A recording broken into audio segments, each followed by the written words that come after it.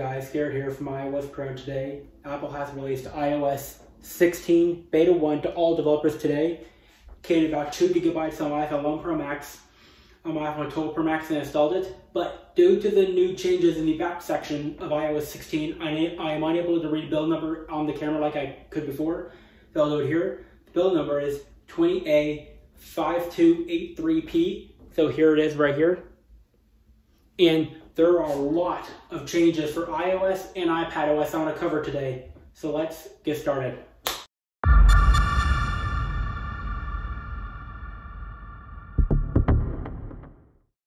So before I get started, I just want to say that six Apple devices lost their support today, unfortunately, which is the iPhone 6s, 6s Plus SE first gen, iPhone 7, 7 Plus, and iPod Touch 7, due to performance issues, but my iPod Touch 7 was my favorite device out of all of them. Used it every single day since 2019. Worked like a charm, it did.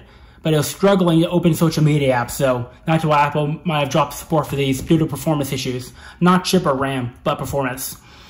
Okay, so first up, the lock screen. So I have my iPhone 11 Pro Max running iOS 15, 12 Pro Max on iOS 16, and the lock screen has been completely revamped. Previously, if you tapped and hold, it would activate a live wallpaper. But now if you tap and hold, it'll go out just like on the Apple Watch. See, when I tap and hold, the Apple Watch goes out and I can select my watch faces.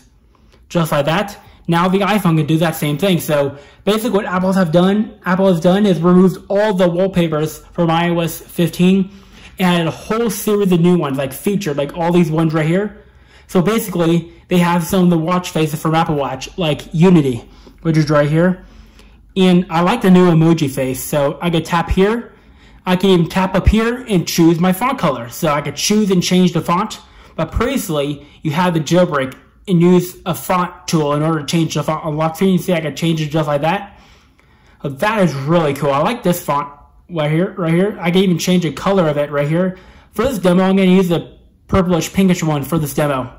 Not going to leave it forever, but that's just what it's going to be. And I can add widgets to my lock screen, including my battery right here and battery status, just like that. So it's just like Apple Watch where you can add widgets. I can even swipe between different wallpapers from the flowers wallpaper. Go down here and choose the color of the background. I can choose right here. And I can even add emojis, just like that. So revamp the lock screen everywhere. But if you use the earth here, so if you use the earth, like if I just tap, hold, go back to earth, you can see when I unlock astronomy, I can go out and it earth animates like this. Just like that. You can even see the arm of the Milky Way galaxy right going behind the earth. That's a really nice attention to detail. Like 100%. So that is the new lock screen.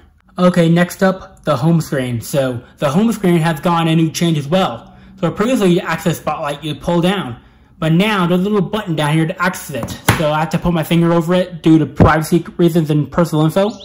But you can see the new Spotlight search down here instead of up the top, so that's really cool. Next up, Control Center. So the Control Center has received a few little tweaks here and there. Like when you're connecting AirPods, you now get this headphone icon instead of just seeing the little AirPlay icon all the time. That's a really nice little touch here. And down at the bottom, the TV little icon has been turn gray instead of both white. Nice little touch. It's been like that icon since I was 12, I think.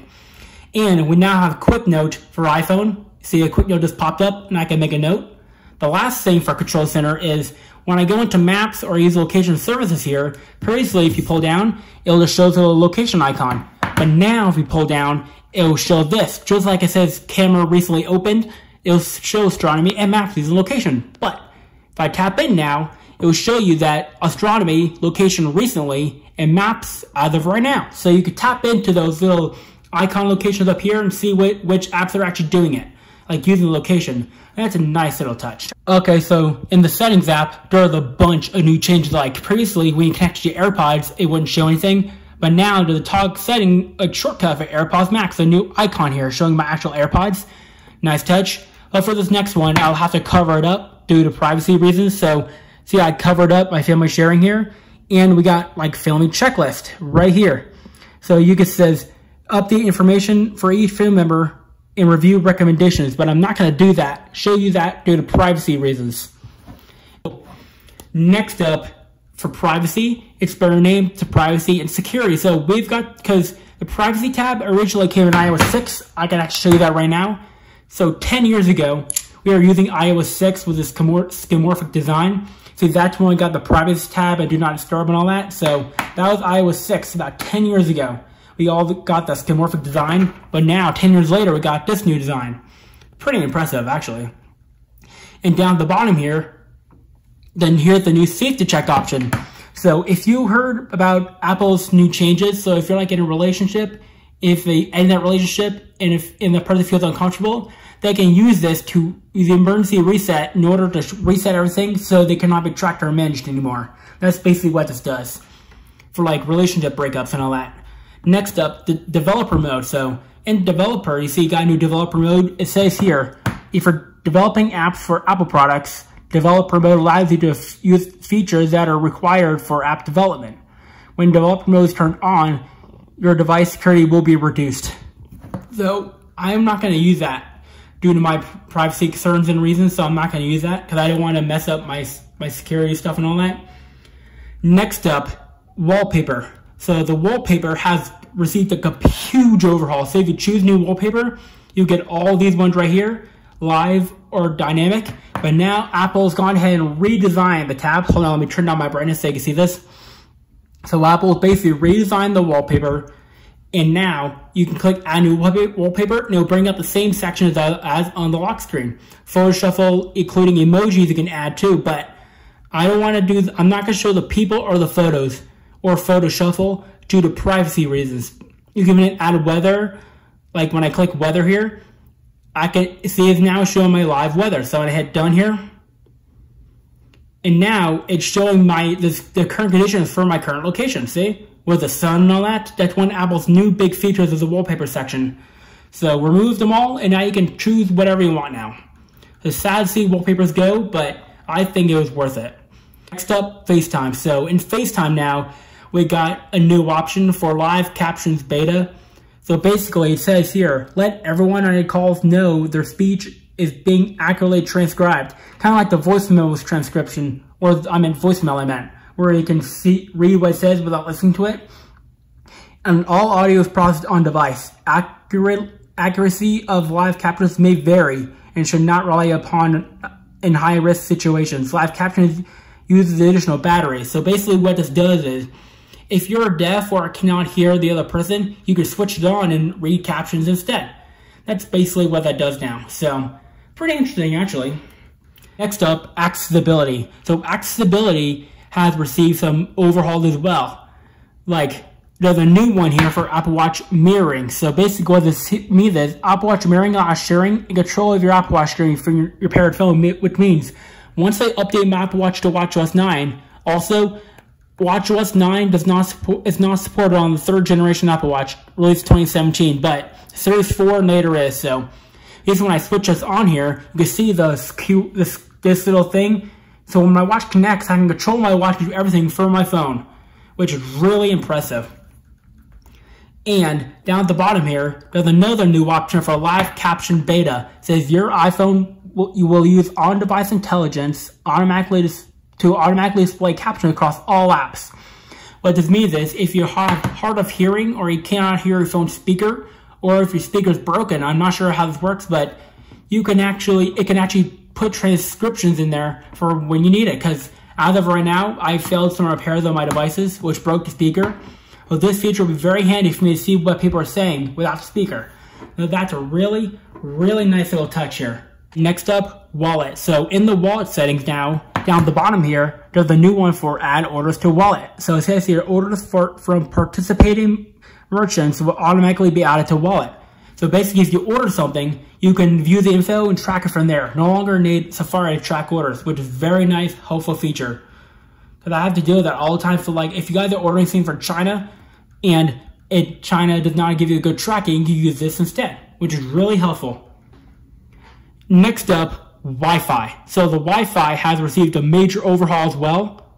So you can see here, there's a brand new edit button here, because if you remember in one of my older videos, let me show you guys this. I a while ago, back in early 2022, I actually made a video called "How to See List of Every Joined Wi-Fi Network Connected on iPhone, iPad, and iPod Touch." But now you can click the edit button and see all the connected Wi-Fi's you previously connected to, which is really nice. And I can tap delete.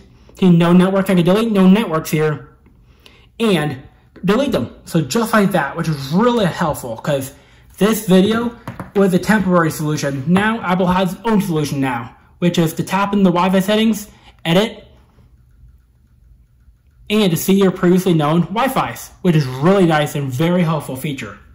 I'll be getting this one every day. So next up, home screen tab. So on the home screen tab, you'll actually have an option to enable the show spotlight button. So the, down the bottom here, you can you can actually use this option to disable this button here. So when I turn this off, the button goes away. Turn it back on, the button comes back. So nice little shortcut, little button there. I actually like that. So pretty interesting. So that is the settings app. Okay, next up, the home app. So previously in iOS 13, 14, and 15, this is what it looked like previously. When you scroll down, you see the cameras here, which is now. But now the home app is completely redesigned to show entrance, bedroom, game room, kitchen, patio, and scenes. I like this. Previously, it's all cluttered together or the name's all cut out, so I couldn't see what I was doing. So when I said game room or entrance or bedroom, see the lights turned off and on. But now I could, it's a lot easier to work from here. New interface as well for bedroom. When I click it, see bedroom 100%.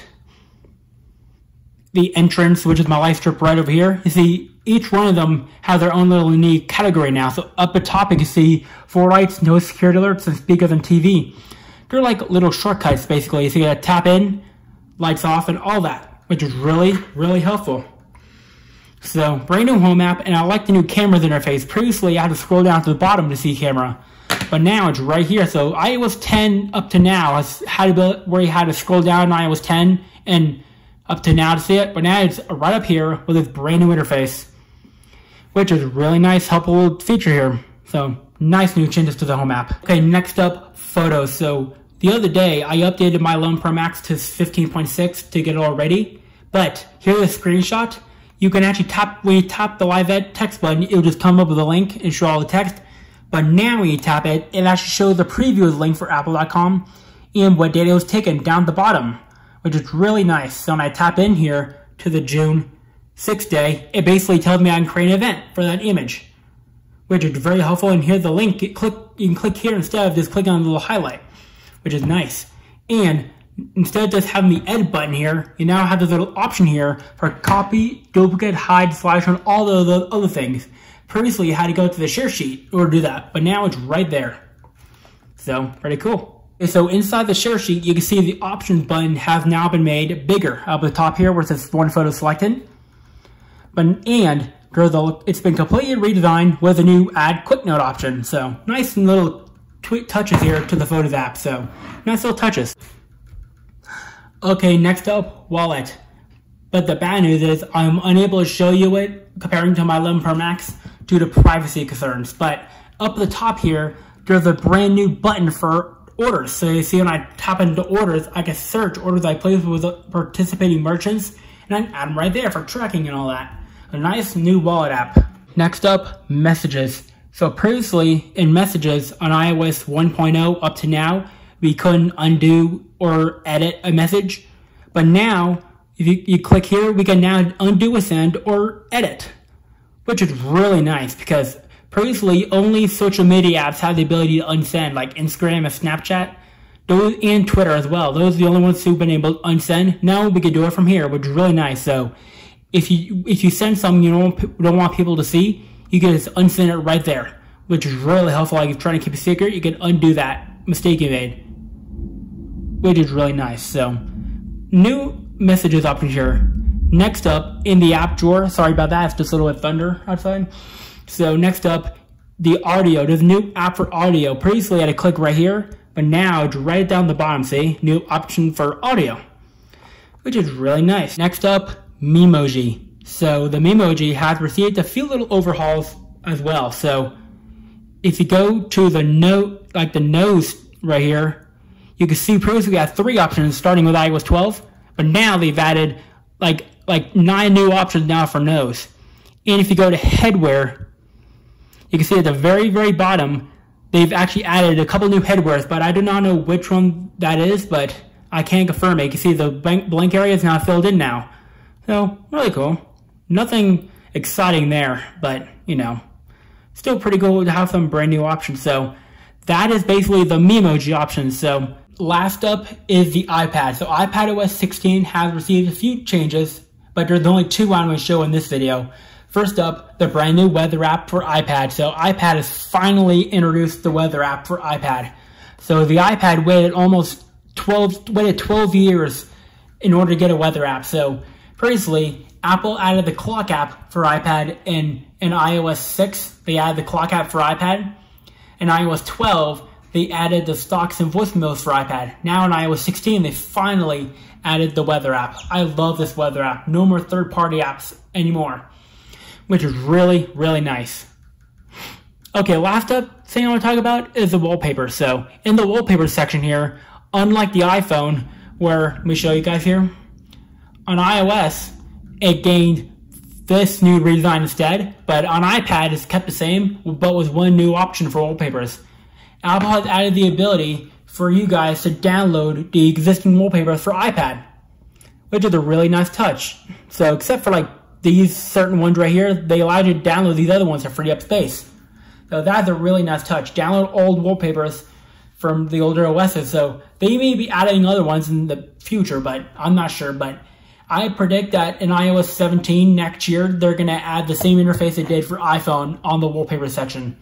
Because in iOS 14, they added the app library for iPhone, but in iOS 15, they get it for iPad. So I bet you that in iOS 17, they'll add this, the iPhone interface version for iPad. So that's what I think. So that's pretty much it for this video. If you liked the video, give this thumbs up, smash video. Peace out.